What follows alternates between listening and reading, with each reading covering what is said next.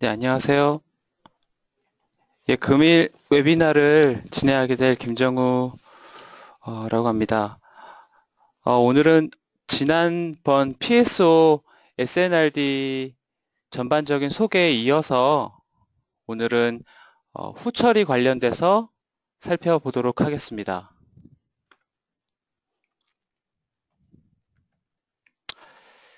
기본적으로 순서는 그 매뉴얼에 그 SNRD 후처리 매뉴얼에 있는 순서를 나타낸 거고요.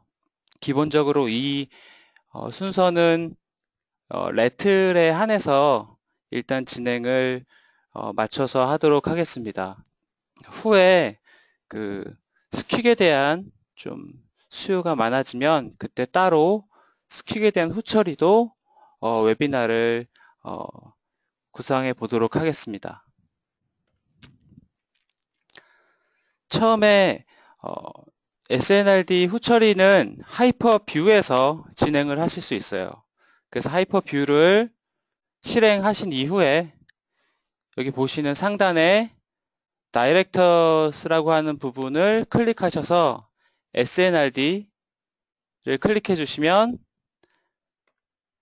다음과 같이 이러한 브라우저가 생성이 됩니다. 그래서 간단히 이 브라우저가 어떤 의미를 갖는지 하나씩 좀 설명을 드리도록 할게요.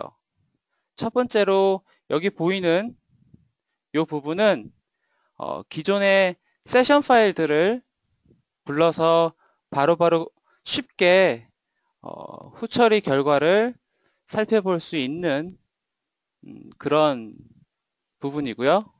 그 옆으로 바로 보이는 SNRD help라고 하는 부분은 저번 웨비나 끝부분에 어, 좀 소개해 드렸던 것 같이 이 헬프를 좀 이용을 하시면 상세한 내용들에 대해서 기본적인 궁금증을 좀 해소하시는데 많이 도움이 되실 거라고 생각이 됩니다. 그리고 요 끝에 있는 느낌표는 지금 사용하고 계신 PSO의 버전이라고 생각해 주시면 돼요. 그 버전을 여기서 확인해 주실 수 있어요. 다음으로 이 모델 파일 같은 경우는 어, 전처리에서 작업을 다 끝낸 이후에 export 하게 되면 .fem 파일 그 OptiStruct의 input 파일로 저장이 될 거고 이제 거기에 어, solver가 running해서 이제 결과로 나타내는 요 펀치 파일 그리고 .fem 파일이 만들어짐과 동시에 요 pre 언더바 output.csv 엑셀 파일도 같이 만들어져요. 그래서 같은 이름 요 확장자 앞에 있는 이름이 fem 파일과 엑셀 파일이 동일합니다. 그래서 fem 파일만 import 하게 되면 이 pre-out 파일도 자동으로 같이 import하는 특성이 있어요. 그리고 여기 add 버튼을 눌러서 펀치 파일을 즉 결과를 나타내는 어, result 파일인 펀치 파일을 여기서 import 하실 수 있고요. 펀치 파일을 import 하게 되면 어느 정도 import하는 시간을 거친 이후에 이 input 파일 상에 어, 몇 개 subcase가 있는지에 따라서 이 subcase가 나타날 거예요. 그래서 한 개, 이 input 파일에 subcase 한 개 있었다고 하면 한 개가 표시될 거고 두 개가 있었다 그러면 두 개가 표시될 겁니다. 네, 정확히는 이 punch로 나온 결과에 subcase가 몇 개가 있느냐에 따라서 이 개수가 결정되겠죠. 그리고 요 밑에 있는 세션 파일 같은 경우는 경로를 지정하는 거예요. 그래서 지금 요 파일들이 있는 경로에 새로운 이름을 붙여서 MVW 파일로 경로를 지정하시면 이후에 후처리하는 내용들, 분석되는 내용들에 대해서 요 MVW 링크 파일로 관리를 하실 수 있어요. 다 분석이 다 된 이후에 값을 저장하시고 나중에 또 열어보신다고 하면 여기 로드 existing 세션에서 바로 MVW를 클릭하기만 하면 지난번 분석했던 그런 내용들을 확인 쉽게 확인하실 수 있습니다. 또 요 아래로 내려가 볼까요? 요 post processing 부분과 여기 숨어 있는 sensitivity analysis가 있는데 요 sensitivity analysis는 뒤에 설명을 하도록 하고요. 그리고 post processing 부분을 보면 analysis type을 내가 전 처리에서 rattle을 구현하고자 해서 그 rattle에 대한 E-line을 생성했다라고 하면 rattle만 선택하시면 되고요. squeak만 선택하셨다라고 하면 squeak만 선택하고 둘 다 섞어서 생성을 했다라고 하시면 rattle and squeak이라고 된 두 가지 모두가 표현된 부분을 지정을 하시면 되겠어요. 다음으로 요 밑에 lines to analyze를 보면 내가 생성한 E-line에 numbering이 되어 있어요. 그 E-line numbering 된 부분을 all 혹은 개별적인 numbering이 쭉 나열이 되어 있어요. 그래서 한 개씩 한 개씩 개별적으로 하실 거면 그 number를 선택해 주시면 되고요. 그 모두 다 선택할 거다라고 하시면 all이라고 된 부분에 어, 선택을 해주시면 되겠습니다. 그 밑으로 percent statistical 이벨레이션 같은 경우는 내가 분석하고자 하는 결과에 어떤 퍼센트 수치를 입력한다 라고 되어 있어요. 이제 이 부분에 대해서 좀 어, 궁금해 하시는 문의가 몇 번 있었어요. 그래서 좀 설명을 해 드리면 저희가 어, 전처리에 그 해석을 수행을 할 때 하중에 대한 값이 있어요. 그 하중 시그널은 어, 시간에 따른 어떤 어떤 랜덤한 시그널이기 때문에 결과로 나온 어떤 그 시그널 자체 단일 피크 값은 어떤 그 응답 값을 대표하지는 않는 특성이 있겠죠. 그래서 응답을 제대로 평가하기 위해서는 통계적인 접근 방식이 필요하다고 할 수 있어요. 그래서 이러한 통계적인 접근법은 어, 쉽게 세 단계로 이제 구성되고 어떻게 두 가지 타입으로 진폭을 평가하게 됩니다. 첫 번째는 첫 번째 단계는 모든 진폭에 일단 결과로 뽑아진 진폭에 순위를 매기는 거예요. 랭킹을 매겨서 그 다음에 두 번째로 가장 높은 진폭의 일정 비율을 지금 여기 퍼센트로 입력을 하는 거예요. 그러면 그 퍼센트의 평균 값을 결과로 뽑혀지는 게 되겠죠. 그래서 예를 들어서 여기 10이라고 표시가 되면 그 최고치, 그 진폭 최고치의 10%만큼의 평균 값을 이제 결과로 표현을 해집니다. 이 부분은 어떠한 그 결과를 분석하는 데 있어서 상당히 어, 음, 검증된 어, 방법이라고 할 수 있겠습니다. 다음으로 세션 타입 같은 경우는 summary를 선택해 주시면요. 어, 뒤에 보시면 알겠지만 어, HyperView상에서 HyperGraph 그 두 가지로 간단히 요약이 된 페이지예요. 그래서 어디가 visual적으로 어디가 어, rattle 혹은 squeak이 일어날 것이다 라고 하는 부분을 visual적으로 좀 표시가 된 부분이 있고요. 요 아까 나타냈던 요 랭킹에 대한 어, 떤 수치와 각 어, 분석이 될 여기서 만약에 E-line을 all로 했다라고 가정할 경우에 모든 어, 모든 수의 그 E-line들의 랭킹을 어, 그래프로 간단히 어, 표시가 돼서 분석을 할 수 있겠고요. 풀 밑에 있는 full analysis로 선택을 하시게 되면 각각의 E-line에 대한 각 방향별 어, 그 분석이 제대로 어, 뽑혀지게 됩니다. 그 뒤에 보시면 어, 좀 아시게 되겠죠. 그래서 이 summary와 full analysis를 어, 비교를 해봤어요. 그래서 summary 같은 경우는 이 녹색 칸에 있는 부분 이 부분, visual적인 부분과 이렇게 해서 한 페이지로 간단히 구성을 할 수 있겠고요. full analysis를 하면 만약에 E-line이 지금 11개다라고 하면 11개 모두의 각 방향별 magnitude 값까지 이렇게 네, 네 가지의 값이 내가 처음에 설정한 갭과 tolerance 값에 대비해서 얼마나 어, 넘어서는가 정도를 분석할 수 있겠습니다. 그리고 SNRD 후처리에서 제공하는 어떤 방식들 중에서는 one punch 파일과 그 subcase가 다중일 때 를 비교할 수도 있어요. 그래서 결과 파일 상에 결과 파일 상에 뽑혀져 나오는 subcase가 두 가지일 경우를 분석해 보면 결과로 다음과 같이 각 E-line별 어떤 수치를 subcase 첫 번째 subcase와 두 번째 subcase를 상대적으로 쉽게 비교를 할 수 있습니다. 지금 이 결과 파일 같은 경우는 어, transient에 대한 그 시간을 20초, 30초로 간단히 불, 그 구분만 해놨기 때문에 결과적으로는 똑같은 값이 좀 나오게 됐는데요. 일단 방식만 어, 좀 구별하시면 되겠습니다. 그리고 two punch 파일엔 어, one subcase의 방식도 지원을 하고 있어요.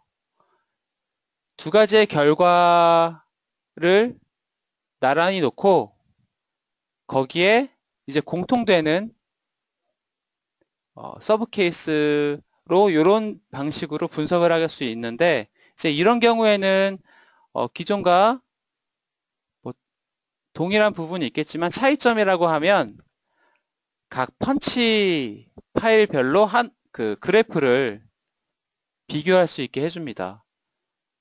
그래서 이 펀치 파일이 20초 돌린 것과 30초 돌린 것의 펀치 파일이지만 어, 기본적으로 subcase의 내용은 동일하기 때문에 요 이렇게도 분석이 가능한 거죠.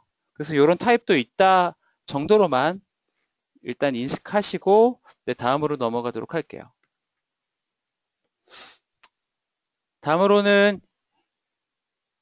이제 서머리 단계에서 어떻게 분석을 했다라고 하면 이제 여기서 여기 레벨에서 이제 분석할 수 있는 내용 같은 경우는 어, 이 페이지에서는 비주얼적으로 어느 부분이 어느 부분이 어, 위험 요소라고 판단이 될 경우엔 이제 이 부분을 선택해서 선택해서 음, 여기서부터는 제가 어, 예제로 진행하는 게 조금 더 좋을 것 같아요. 혹시 그 연결 상태가 좋지 않을 경우에를 대비해서 어, 캡처를 해 놓은 거기 때문에 제가 직접 하는 게 보여드리는 게 조금 더 도움이 되시지 않을까 생각합니다. 그래서 하이퍼 뷰에요. 하이퍼 뷰에서 SNRD를 선택하면 이러한 페이지가 나오겠죠. 그래서 저는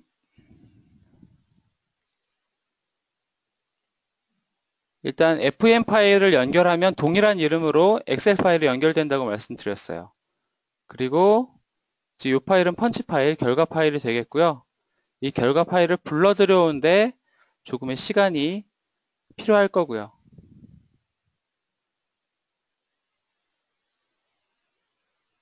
그래서 임포트 여기서 불러오는 시간은 펀치 파일의 용량과 좀 어느 정도 비례할 수 있겠죠. 그래서 여기 서브 케이스를 선택하신 이후에 이 액티브 눌러주시고 이 동일한 파일에 네이밍을 합니다. 내가 나 다음에 기록될 경로를 칩니다. 웹이나 라고 해서 이렇게 간단히 이름을 네이밍을 해주시고 저는 오늘 rattle만 진행할 거여서 rattle에 대해서 결과로 나온 이 정도로 많은 E-Line을 생성을 했어요. 전처리에서. 그래서 모두 한번 분석을 해볼게요. 그리고 통계적으로 분석하는 내용에서는 상위 5%에 대한 레벨링을 진행하도록 할게요. 그래서 full analysis로 한번 분석을 해보도록 할게요. 여기서는 시간이 그래도 꽤 걸리겠죠. 아까 많은 수의 이 라인을 한 번에 올로 선택을 해서 분석을 한다고 했기 때문에 좀 시간이 어느 정도 걸릴 수 있습니다. 그래서 조금만 기다려 주시기 바랍니다.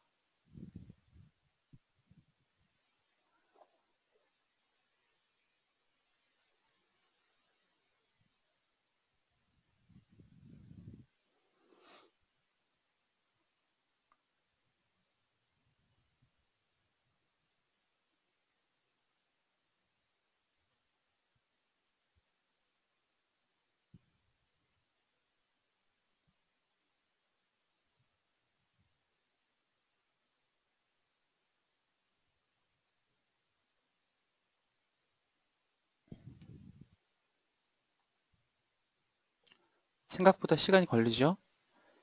이게 올이 아니라 그 하나하나씩 선택을 했으면 소요된 시간이 훨씬 적겠죠? 그래서 제가 선택한 이 라인에 그 분석되는 시간이 어, 비례한다라고 생각해 주시면 되고요. 이 자동화 기법이 아니라고 하면 일일이 이런 부분을 어, 그래프로 그리고 하는 부분이 상당히 시간이 오래 걸릴 텐데 이런 부분은 상당히 자동화가 잘 되어 있는 것 같습니다. 그래서 잘 되었다고 이렇게 메시지가 나오면 저희가 분석을 하실 수 있어요. 총 24페이지까지 나왔어요. 처음에 summary 페이지 나오고 그 다음으로 이렇게 각각의 E-Line 넘버에 따라서 분석된 내용들이 이렇게 나타나요. 근데 이제 어떻게 의미를 가지고 분석을 할 것인가에 대해서 좀 살펴볼게요. 그래서 비주얼적으로 좀 살펴볼 필요가 있어요. 그래서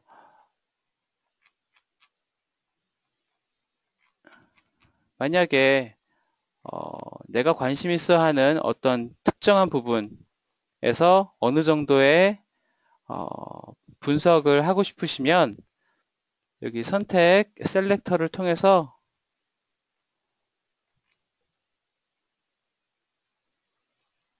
네, CVC 레틀 104009라고 되어 있는 부분을 이제 분석하시면 되겠어요. 그래서 요 CVC 여기 세션에 지금 분석된 내용 중에 104009 여기를 더블 클릭 해 주시면 요 아까 24개 페이지 중에 12번째겠네요. 12번째 내용을 분석하실 수 있는데 제가 처음에 설정했던 설정했던 갭을 어 1mm와 그 tolerance를 0.5로 설정을 했었는데 이 1mm를 넘어가면 이제 rattle이 발생할 수 있겠구나라고 이제 의심을 해볼 수 있는 거겠죠. 특히 요 magnitude 말고 각 방향별로 분석을 하려면 어, Z 방향, Z 방향이 가장 크게 어, 분석이 되고 있어요. 그래서 이 부분을 이 부분에 대해서 좀 분석을 해볼 필요가 있겠죠. 이 부분은 도대체 무슨 원인 때문에 이렇게까지 갭을 넘어서게 되었는가에 대해서 분석을 할 필요가 있어요. 그래서 저희는 이제 sensitivity analysis 이 부분을 클릭을 해서 자동으로 여기 파일이 지정이 되죠.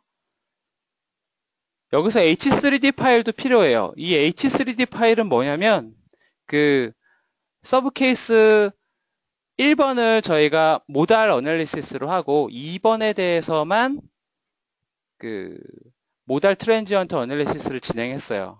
그래서 subcase가 여기 subcase 2로만 되어 있고 여기 subcase 2로만 되어 있고 subcase 1에 대해서 modal 그 normal mode 해석에 대한 modal에 대한 정보를 가져오기 위해서 여기 H3D 파일이 필요합니다.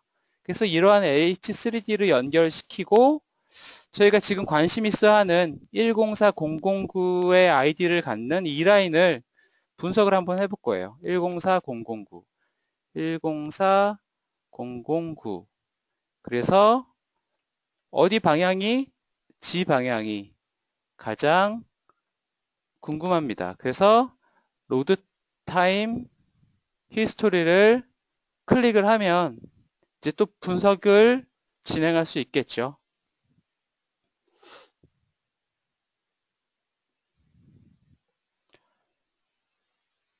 이걸 일일이 기록하는 것보다는 훨씬 간편하다고 생각이 되네요. 그래서 104009의 Z 방향에 대한 피크 값이 이렇게 되었어요. 그래서 몇 초에 몇 초에 몇 미리의 피크가 됐다라고 자연스럽게 여기 가장 피크 값, 피크 값에 대해서 혹은 타임에 대해서 정확히 여기 표시가 되고 있어요.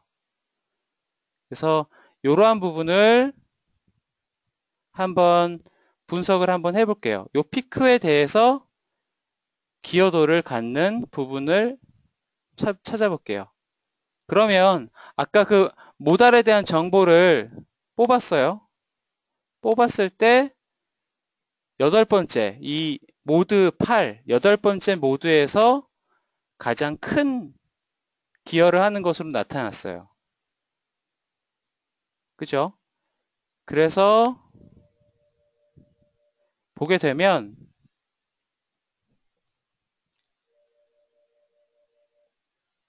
이제 여기서 한 번 더 어널라이즈를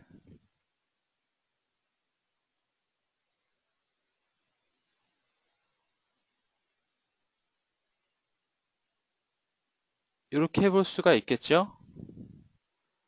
이제는 이 modal에 대한 modal에 대한 what if study도 진행을 할 수 있어요. 이 modal에 대한 what if study. 만약에 이 8번 모드가 없다면 어느 정도로 그 여기서 분석했던 이러한 피크들이 없을까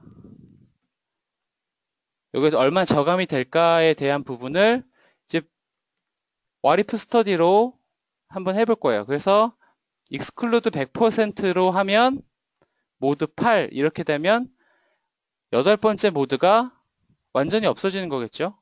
그래서 이렇게 해서 analyze를 하고 그럼 확실히 저감이 된 걸 보실 수 있겠죠. 그리고 이 라인을 선택을 하면 또 저희가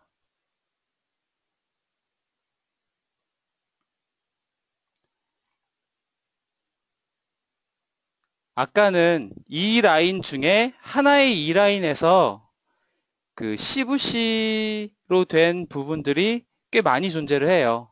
이 009라고 하는 건 001부터 009를 말하는데 끝에 009번만 분석을 했기 때문에 E-Line 전체 104001부터 104009번까지를 한꺼번에 한번 분석을 해볼게요.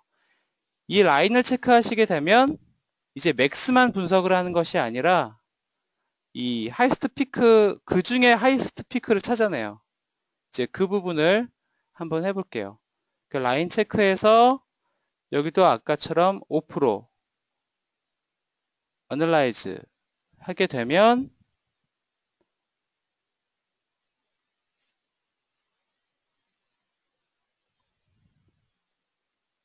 지금 분석이 1번부터 9번까지 이렇게 9개가 다 되게 돼 있어요. 그리고 이 모드 8번과 7번도 상당히 영향을 있는 것으로 파악이 됐어요. 아까 104009번만 했을 때는 이제 모두 8만 영향을 받았는데 104009라고 하는 이 라인 전체를 104001부터 9번까지를 분석했더니 모두 7과 모두 8 모두 영향이 있는 것으로 좀 파악이 됐어요. 그래서 이번에는 모두 7과 8을 와리프 스터디로 둘 다 둘 다 한번 제거하는 쪽으로 분석을 한번 해볼게요. 모두 7, 모두 8, 두 가지 다 이렇게 해서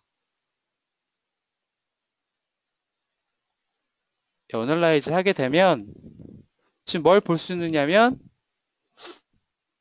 모두 7과 8 원래 갭 있을 때 이렇게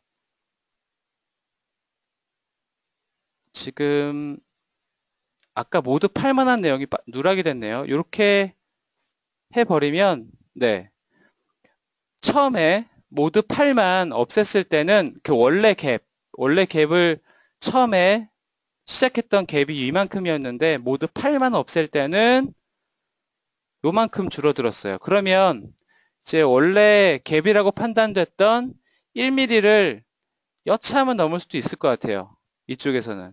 그래서 아까 모두 7까지 같이 포함해서 와리프 스터디를 했더니 더 줄어들었어요. 그래서 이 정도면 이 정도면 레트의 위험이 전혀 없을 수 있겠다라고 판단될 수 있겠죠. 그래서 어, 나중에 이제 여기서 끝난 것이 아니라 모두 7번과 8번이 어떤 쉐입을 가지고 이 구조에 어, 악영향을 미쳤을까, 구조를 약하게 했을까에 대해서 좀 판단하신 후에 이 모두 7번과 8번을 어, 어떻게 하면 저감할 수 있을까라고 하는 뭐 K값 혹은 M값 혹은 기타 뭐 립 등의 어, 생성을 통해서 어, 개선을 할 수 있겠죠. 이제 가장 좋은 건 이 이후의 프로세스를 이제 옵티미제이션과 이제 같이 진행을 하시면 조금, 조금 더 좋을 것 같습니다.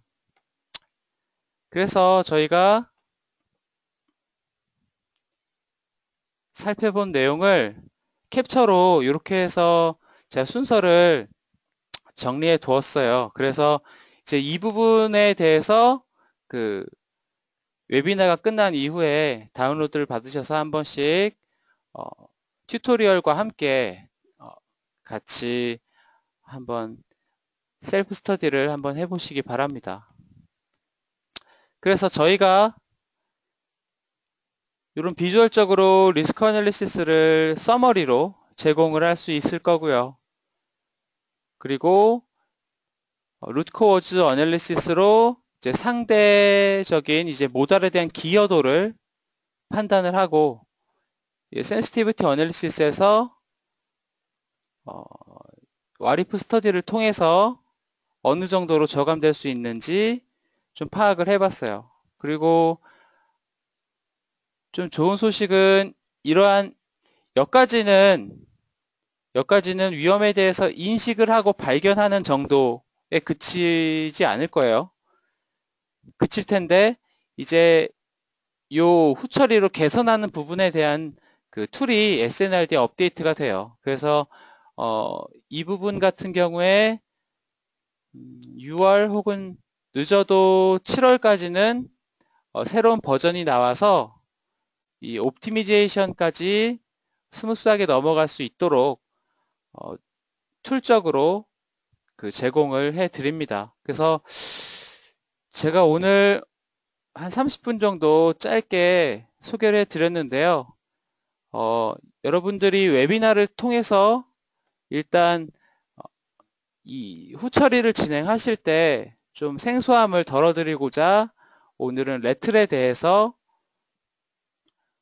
레틀에 한해서 일단은 소개를 드렸고요.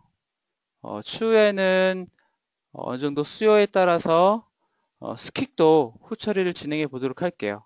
그리고 그 스킥 이전에 그 전처리로 이제 지금 소개하고 기법 알려드리고 그 다음 바로 후처리로 넘어갔는데 전처리를 어떻게 할 것인가 각각 생성을 할때 어, 떤게 어떤 의미를 갖는지에 대해서 요번에 그 post processing 소개한 것처럼 pre processing에 대해서 어, 다음 후속으로 준비를 해보도록 하겠습니다. 지금까지 어, 들어주셔서 감사하고요.